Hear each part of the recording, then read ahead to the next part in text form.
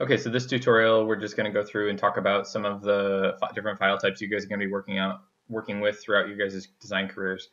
Um, and just going through the initially the raw materials, the file types, the size, and the resolution of those things. Uh, all right, and so um, first thing you guys are going to probably be dealing with um, are scans of your guys' sketches, uh, renderings, photographs, existing graphics. Um, so, and I'll go through a lot more of this as we, the semester progresses, but you guys should have a sense of uh, where this content is coming from. Um, most of these first three are all going to be raster graphics, and I'll talk about that a little bit more in a second. Um, and existing graphics, so those are going to be, um, can come in as Illustrator or vector graphics, um, or you can bring them in also as raster graphics as well.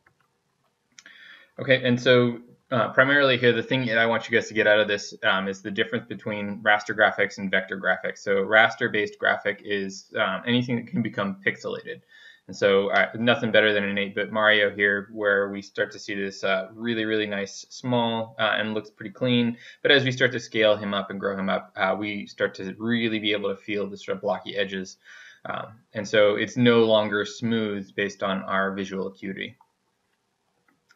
Now, in vector graphics, this is not the case. Everything uh, where these are based on uh, pixels, and so there's a certain number of pixels wide by a certain number of pixels tall.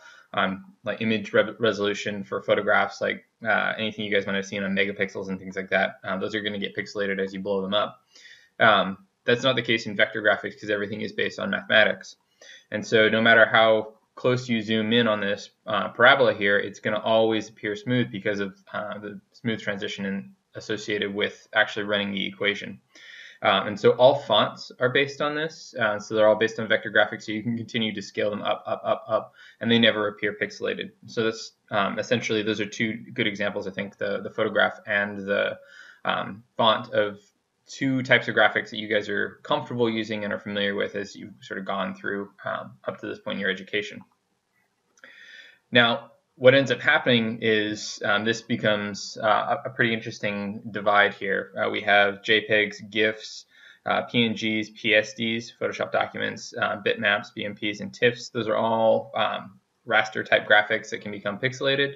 Um, there is a longer list of this, but um, this is probably all you guys are going to be dealing with um, in terms of your guys' uh, careers. Um, and just in terms of talking about this JPEGs, that's stuff that um, comes in photographs, um, GIFs, you can generate uh, very short animations with. PNGs are portable network graphics. These are designed for the web. Um, and a key function of these is that these only run in RGB, that is your screen resolution color. Um, Photoshop documents, you know, you'll get more familiar with that. Um, bitmaps, uh, really the worst image graphic that you guys have. They're heavy and they're not really uh, accommodating for a lot of systems. Um, and then TIFFs are really a nice way of sort of in a raster format uh, maintaining um, high amounts of information. Um, I don't generally use TIFFs all that often anymore. Um, if I'm going to be working with something I need that kind of resolution with, I'll just shift it over to um, a vector graphic. And then here on the other side, uh, we have um, AI. That's an Illustrator document, a DXF digital exchange file. Um, that's an AutoCAD format that was developed. Uh, essentially, if you're ever transferring in between softwares um, and you don't know if they're going to talk to each other, DXF is going to be the format that you guys are going to want to go with. Um, and then you have DWGs, that's again another AutoCAD format. Um, and then Swift Shockwave files, that's where you guys will see websites and things like that using that um, Swift animation stuff. Um, and hopefully you guys are starting to get this. Um, a lot of the modeling softwares um, are based on a similar principle. Um, mesh modelers are based on raster graphics, so you have a set of coordinates, and as you zoom in, those coordinates, you don't get any more coordinates out of that. Um, whereas NURBS models are based on vector. Um, all of the surfaces you might generate in Rhino, for example, are going to be based on mathematics, and then those can be infinitely smooth. All right, uh, and so then we want to talk about image resolution very briefly. Um, you can just in just as you guys are paying attention to this, um, 35 millimeter um, widescreen film formats. Like if you guys would take a photograph with, and have a negative, I don't know if you guys are probably at the age now, you guys probably never seen a negative, but uh, either way, um, there's a certain amount of content that's going to be able to be captured by this uh, piece of film. And uh, as you go up, uh, IMAX, this is the a film swatch for IMAX, you can see why um, there's so much more content that's going to be able to be captured by that um, just based on its size. when you guys are working with these graphics, it's important to understand that um, you never want to edit your original. Um, and the reason for that is if you are have this really nice um, high resolution image and then you scale it down and down downsize it for whatever reason in Photoshop because you're trying to create a graphic for your presentation board or uh, or whatever you might be doing, this cannot be brought back up to its previous resolution. So you always want to make sure that you're maintaining this and, and you're not going to be damaging your original and you can create copies of that um, as you go through that.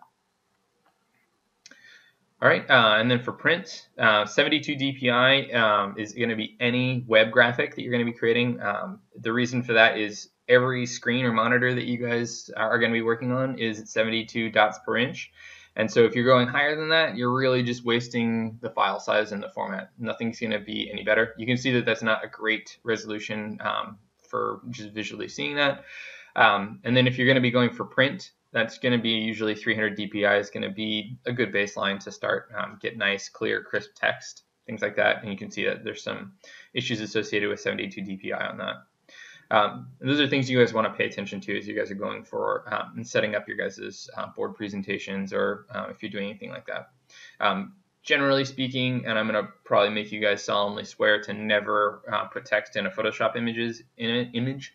You're never going to take a 300 dpi um, snapshot of any text. You should just be using vector graphics. You should have the skills in InDesign um, to have uh, that file host both both vector and raster graphics so that you can maintain those resolutions in a PDF format. And that's essentially what I've done here. If you look at this, like all of this text is being hosted um, against those uh, raster graphics.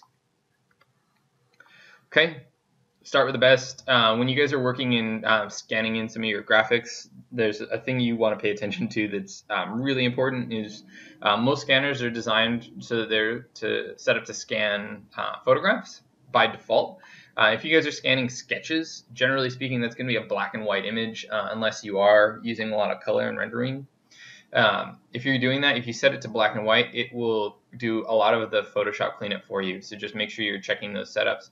Uh, and then use high quality images. Um, if you guys are scanning, make sure you're scanning at least 300 dpi, um, depending on what it is you're doing. If you know that you're going to be zooming in or blowing something up, and you're scanning it at 300 dpi, as you scale it up, again, you're going to lose that resolution. So if you're going to be blowing up something twice as large, select, select that section and scan it in at 600 dpi um, when you're doing that.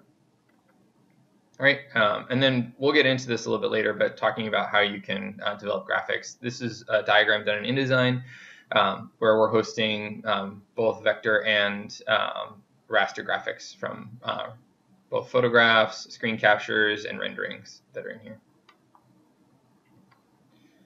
Uh, and this is uh, from a colleague of mine when I uh, worked in New York. Um, the master renderer uh, doing he did this in Studio Max. Um, the actual project we were working on is this right here, um, and he just literally was able to render out uh, the reflections based on that. Okay.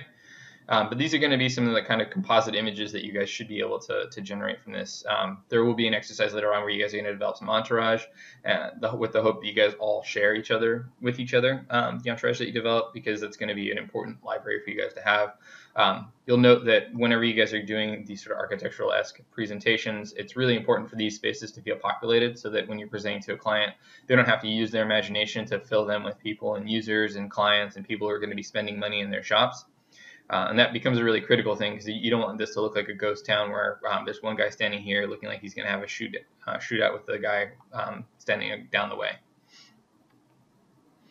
Again, and this takes a lot of time. Uh, this there's probably uh, 30 hours invested in this one image, but okay. And then once you guys have these thing vector graphics, I like putting this image in here just because it's a good example of what not to do. Um, this is something I did when I was a student. Um, I developed this really, really nice vector graphic in Illustrator, and then I exported it to Photoshop, and I immediately got it to become pixelated uh, because I wasn't paying attention to that. And there's really no reason for that. Um, it was a novice mistake, um, but it's something that I did. Okay. Um, and then again, another thing. Uh, here's an image from um, way back when uh, if you guys go into uh, Illustrator, there are some live trace uh, image functions that I will be going over later on in the semester as well um, that will teach you guys how to um, take raster graphics and convert them into vector graphics. And you can see that there's some, it doesn't do this uh, exceptionally cleanly um, in the case of photographs, but uh, it can be really, really handy in the case of um, if you have a nice rendering that you want to start to read a little bit more crisply as you scale it up, um, that that can help with. All right. So just remember the difference. There's obviously a Mario theme throughout this, but um, pay attention to all that.